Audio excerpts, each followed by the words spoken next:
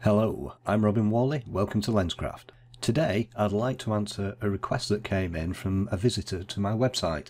I have an article on there explaining how to add an image border in Lightroom and this person was actually struggling a little bit so I've recorded this video and hopefully it will help them and others who may be wanting to do this. You can see on the screen at the moment an image in my Flickr account which I've actually added a border and placed a small black stroke line around the image itself. This helps you display much more effectively on Flickr. Let's switch over now and take a look in Lightroom and I'll, I'll explain exactly how we can do this. So here's the image we're going to use.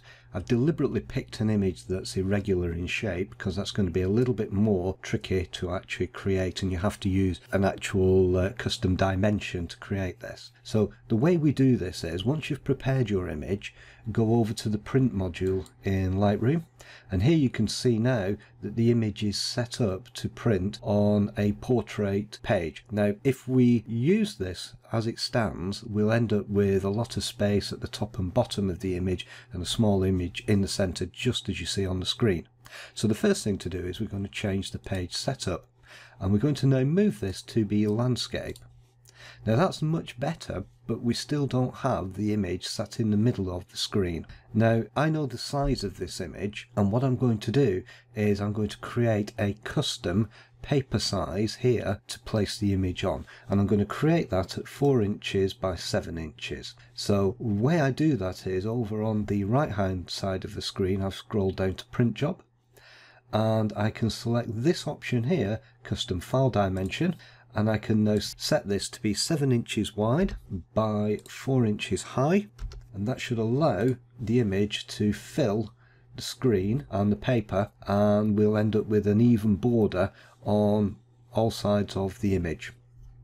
Let's take a look now at some of the other options we have on this page that help us to actually create the image we want. Now the first thing is I've actually got this set to single image contact sheet and that means we've just got one image in the center of the screen and that's how the output file is going to look. I also have turned on further down the guides so you can see my ruler, page bleed, margins, gutters, all these things that allow you to set up the size of the page and place the image in the center. Further up in the layout you have the margins which can appear around the image. I've got these all set to um, half an inch in size and we have got one image on the sheet in this page grid.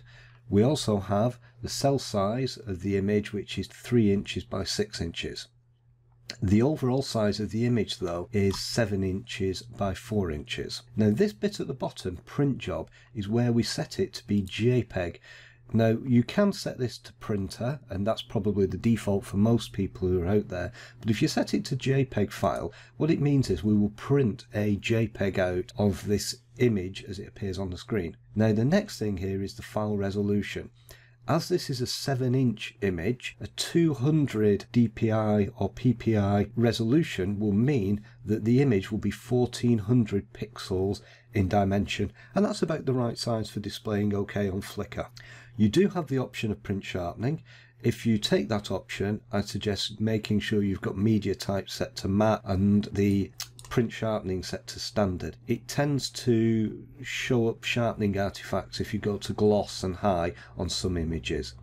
And the final thing that we can have is the color management and here you can pick your color profile to be embedded in the image. If you're not quite sure what I'm talking about here, the best option for an internet image is sRGB. So if you click on that, you can see different color profiles here as well as printer profiles, but just go with sRGB. That's all we need to set. We now click print to file and we can name our file now. I'm going to just put this in the downloads and I'm just going to call it Pia.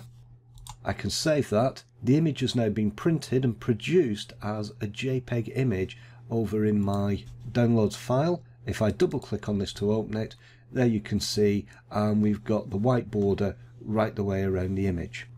Now one thing that we can do to make that look a little better is we can actually include this stroke border around the outside of the image. And that's in this option here in the image settings.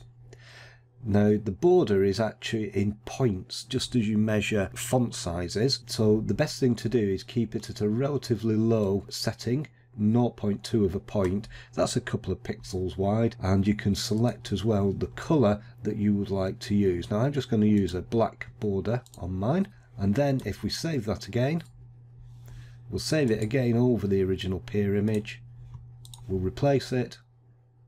Now we can go and take a look. And there we have the image with a thin black border around the outside of the actual image and the white border around everything else. And that's now fine for uploading to Flickr or Facebook. If you decide you want to create a slightly better resolution, you can increase the point per inch size or you can set a as well a larger custom file dimension so you can create bigger images as well as smaller images. I hope you found that interesting and useful. If any of you out there have any requests for future videos, do let me know. Thanks for watching.